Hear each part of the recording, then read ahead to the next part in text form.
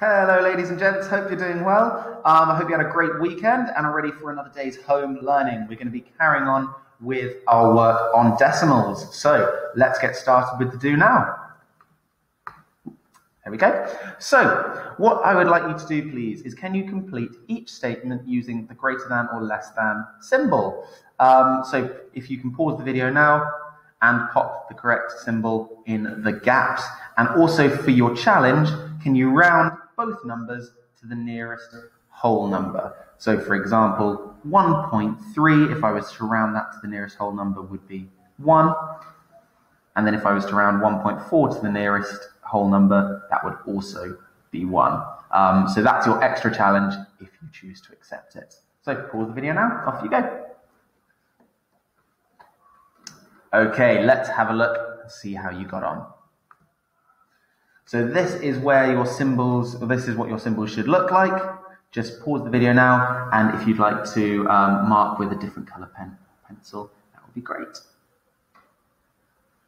So, our walk for today is to order and compare decimals with hundredths. So, so far we have only been looking at tenths, which is the number immediately after the decimal point. So now we are going into hundredths. And we've got some new key vocabulary that we're going to be using today. So, when I say the word, one of the star words, if you can repeat it back to me. Largest, smallest, tenths, hundredths, order. Very well done. So, as a quick review, what I'd like you to do, pause the video and we recap what we did on Thursday. I would like you to add these two numbers together. Remember uh, to include that decimal point. Okay, so pause the video now and can you figure out this addition equation? So hopefully you've had a chance to have a look um, and answer the question, and hopefully it looks something a little bit like this, probably a little neater than I would have done. It's very hard um, writing with a mouse. So the answer is 888.5, and look how my decimal points are all the way down there.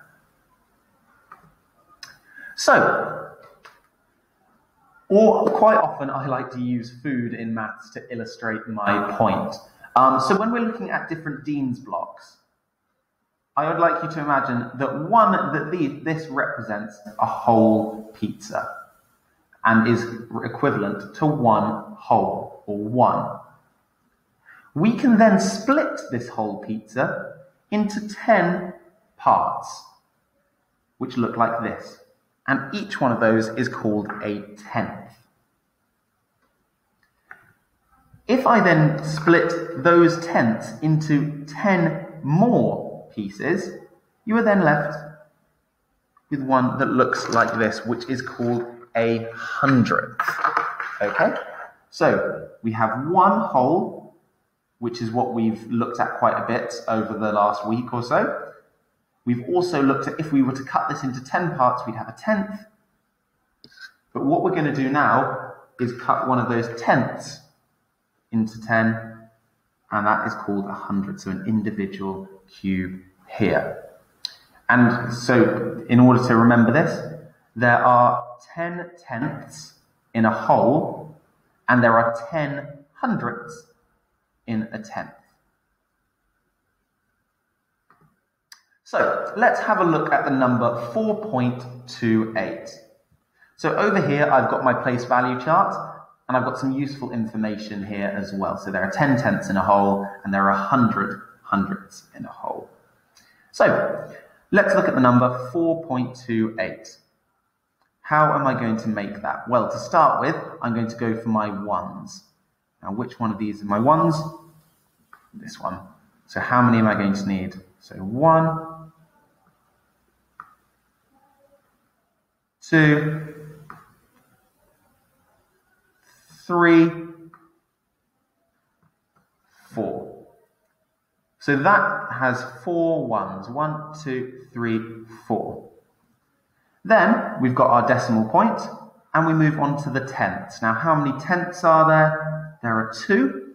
So which block am I going to grab? I'm going to grab this one. One, two. So remember, in one ten, in one whole, there are ten tenths. Four ones, two tenths.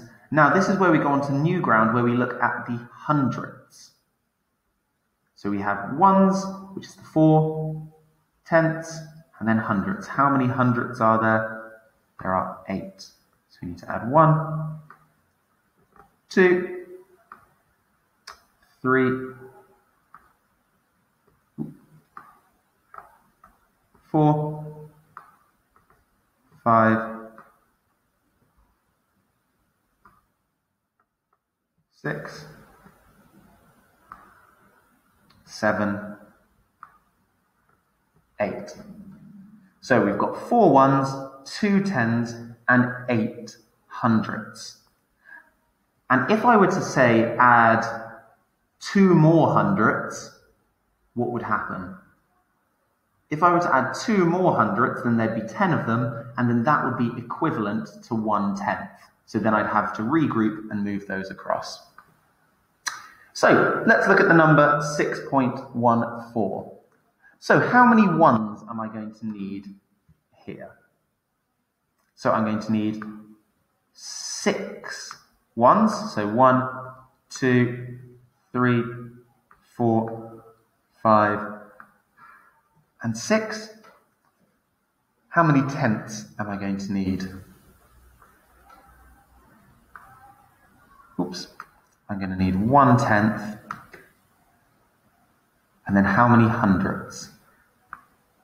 One, two, three, four. So using Dienes, I have made 6.14. Our ones, our tenths, and our hundredths. So, I would like you to pause the video. How would you make the number 0.53? How would you make the number 0.53? How many ones am I going to need? How many tenths and how many hundredths? Pause the video now. Off you go. So hopefully you've had a bit of a think and you should realize that we're not going to need any ones here because there, there are zero ones. We're going to need five tenths. So one, two, three, four, five. And then how many hundredths? I'm going to need three. They're very slippery, the hundredths. One, two, and 3. There we go. So that is 0.53. Excellent. So what I would like you to do now is, is look at these three numbers that have been represented by Dienes. What I'd like you to do, just on a spare bit of paper, can you write down what decimal number, sorry, what decimals do these Dienes represent? So if we've got our ones, our tenths, and our hundredths, can you then turn these Dienes, so number one, number two, and number three, into the correct decimal number? Okay, pause the video now. Off you go.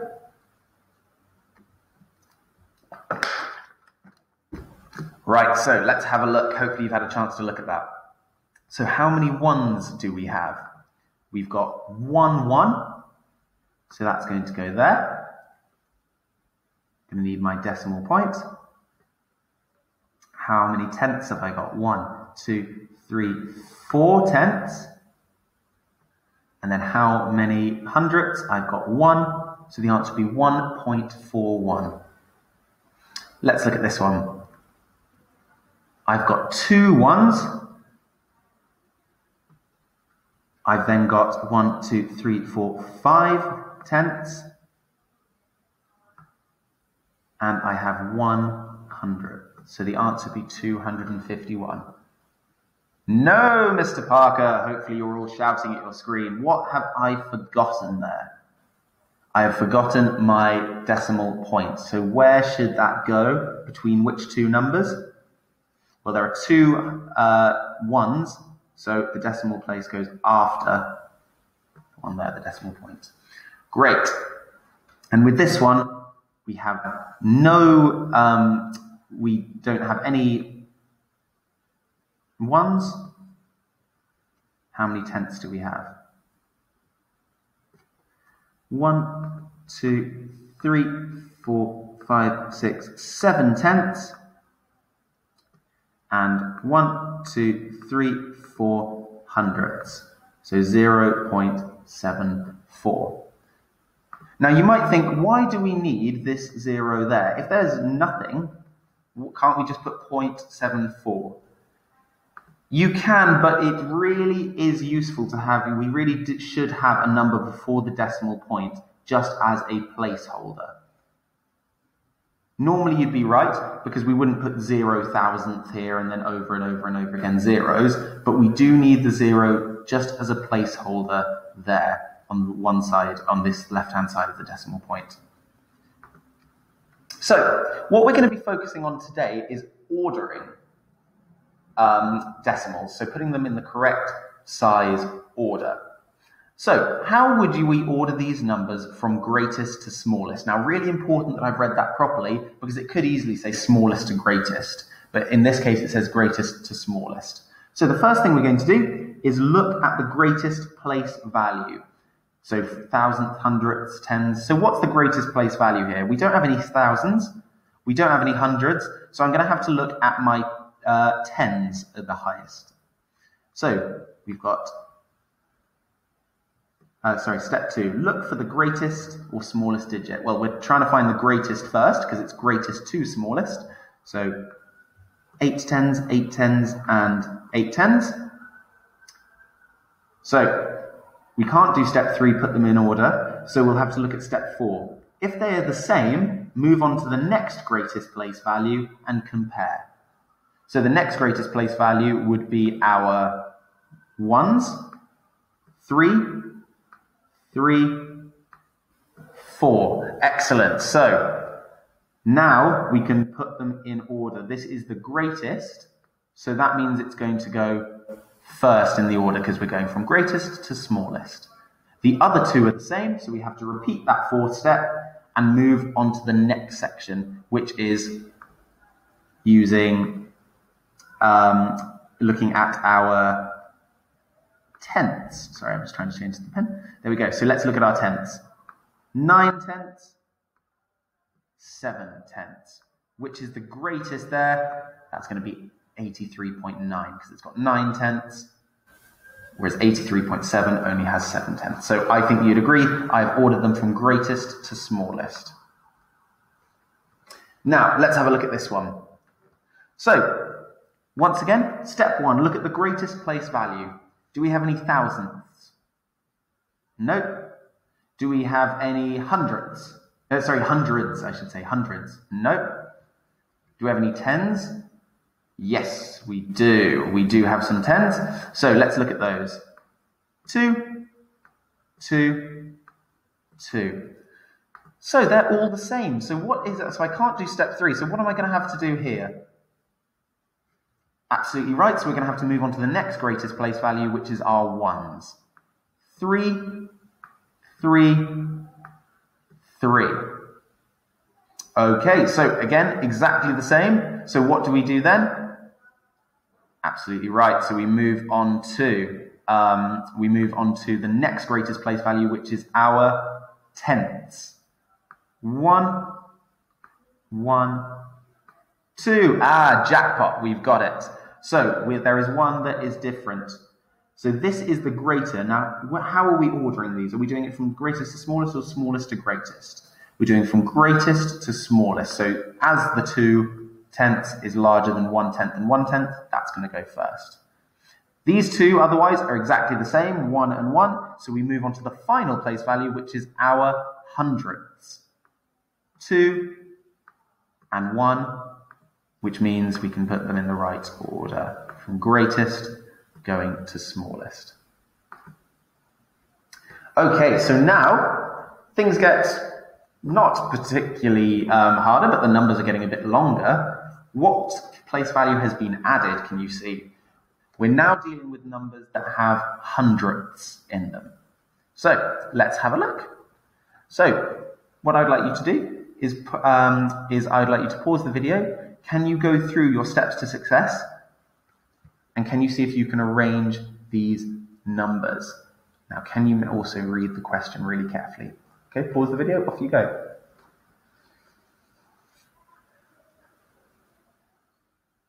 Okay, let's have a look. So, let's look at the first um, greatest place value. We don't have any thousandth, nope. We do have hundreds though. So let's look at those. One, two, two. So we've got these two which are the same. So we're then going to have to compare the next digit, which is the tens. Three and three. It's the same, so let's move on to the next one. Two and four. Excellent, we've got one which is greater, so that goes over there. Again, I'm hoping that lots of you are not just nodding along and are actually screaming, what have I done wrong there? So on the first question, it said greatest to smallest. On the second question, it said greatest to smallest. But look at the question here. It says from smallest to greatest. So in fact, I've skipped ahead a lot of steps and have not read the question correctly. Silly Mr. Parker. So in fact, we have our first number straight away because in our hundreds, this is the only one that has one hundredths, whereas the other um, have two. So we know that this is going to be first because it's smallest to greatest. Next one. We're looking for the next smallest. Three tens and three tens. Nope, that's not going to help us. So we move on to the next one. Two tens, four tens. It's very good. So we've got them, which uh, we've got a different one. This only has two ones. This has four ones. So which one's going to go next? We're doing it from smallest to greatest. Smallest to greatest. There we go. Okay, so final one before I set you off on your independent task. Again, pause the video, read the question really carefully, okay? Um, and then come back to me once you're ready. So hopefully you've had a chance to look at that. Um, I think you guys have got it by, uh, by this stage, so we'll go through it very quickly. We can see that we're doing it from greatest to smallest. So that's really, really important. Greatest to smallest. So we're looking for the largest number first. So hopefully you guys will have seen 726, 726, whereas this is 725. So this one's definitely going to go last, but we'll um, do it in the correct order first. So our 700s are the same. Seven tens are the same. Sorry, our two tens are the same. Then we have six ones, six ones, and five ones. So we actually know that this one is going to be the smallest. So we can put it at the end. Even though it's greatest to smallest, we know that this one's going to be last. And now it's just seeing which is greater out of these two. So we go to the tenths. Two tenths or seven tenths. So hopefully you've seen that this one is the greatest. That one goes in the middle there. Excellent job. So for your first task, you have two sets of numbers that you need to order from largest to smallest. And then the next three, I'll move it up because it's just not on the screen. There we go. Can you order from smallest to largest? So um, you can pause the video now. With number five, you have to insert the correct number uh, so that um, so you can choose any, any number really there. Um, so that's up to you. So pause the video now. If you go. Okay, so there we go, guys. This, this, is the order that it should have gone on. So grab a different pen and paper. Um, so this is, these are all the numbers, number one being the largest, number four being the smallest, and then in these ones, number one being the smallest, and number four being the largest. And with the last one, there are a few different uh, options you could have gone for, so don't worry too much about that one.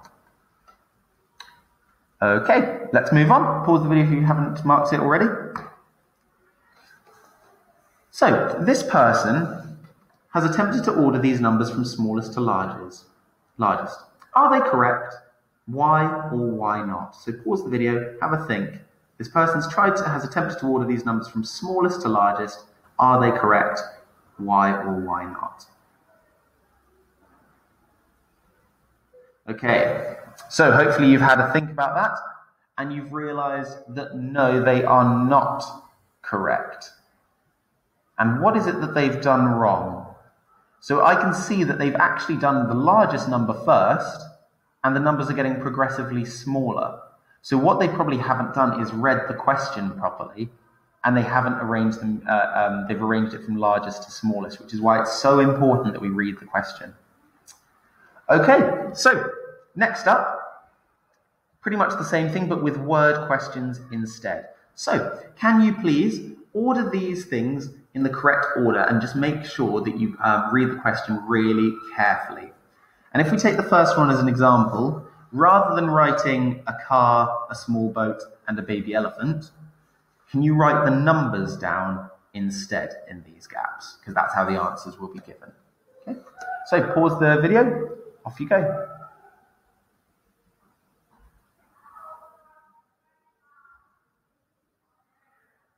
Right, let's have a look at those answers then. Um, sorry, I'll show you the first two first because the, uh, the final question is hidden under here. I'll just move these up for you in case you can't see. There we go. There you go. So those are the answers for those ones there. And finally, your reasoning and your challenge. So if you read through the reasoning, read through the challenge. Again, I'm not sure if this sign here is showing up for you guys, but it is for me. Um, so maybe we'll do one at a time. So if you complete the reasoning first, and then you can come back and I'll show you the challenge. Okay, and then for those of you that would like to complete the challenge, I'll just move this one up because I don't know why it wasn't appearing on the full screen. There's your challenge there. So three different questions can you push yourself and complete those? Off you go. Right, and let's have a look at the answers. So, is this number sentence correct? Explain your reasoning. So, no, it's not correct because the hundredths are greater in 151.99, so they've done the incorrect symbol. 9.25 false is not halfway between because 9.2 any number, a number that you can make between 4.1 and 4.61 would be 4.16. The smallest number you can make using these cards is 1.46. And then the largest number is 64.1. Very good. Well, guys, that is everything from me. Hope you enjoyed the session. Have a great rest of your day and uh, look forward to seeing you guys tomorrow. Thank you so much. Bye bye.